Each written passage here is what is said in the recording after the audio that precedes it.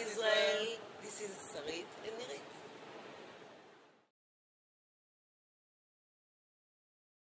I've been two times before at, at the show. I've been this uh, at this show in 2006, and before that I was traveling once here in Canada. No, I like it, but it's too hot. You know? It's not. It's not. It feels like we are walking in Tel Aviv, and while we are in Tel Aviv, in this kind of weather, we are not going out of our house. So Because we are here, you know, we, we can't we stay, want to see, but uh, we can't hard. stay at the hotel, so all the time we are outside, and it's so hot and humid.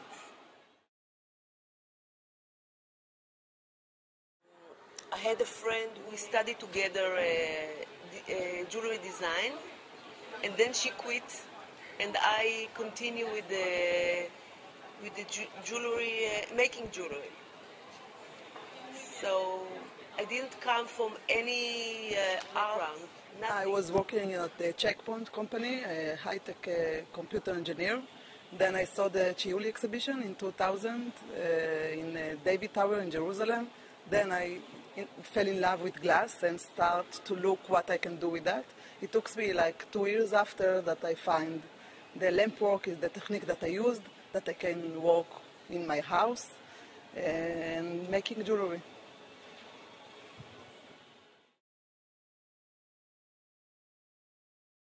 Some the, the smaller things are, can be uh, like uh, five, seven hours, and then the rest is uh, one day, two days, three days. The glass is actually I don't want really to know how long it takes me because it's so much work. So I stop I stop a while ago to count, but it take it depends on the uh, bead design and the jewelry design.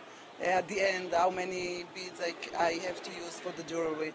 Uh, it takes a lot of time to make each one of, of the beads, and it's handmade and it's, each one is crafted by itself.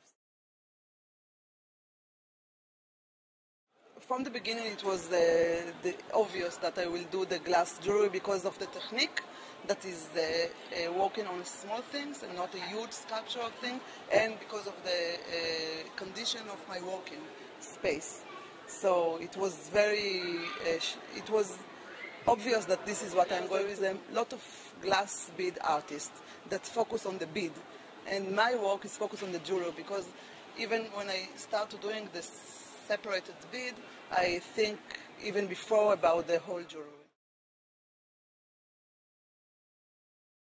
I studied uh, how to knit. So I have a friend who, who, who taught me this uh, uh, kind of work. I got in love with it, and from that point, all my work was knitting.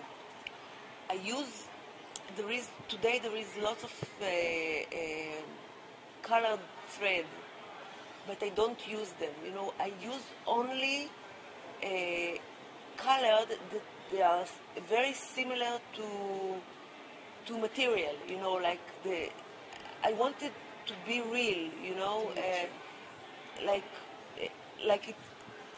There will be the feeling that it's gold or silver or copper. But To find their own language in jewelry.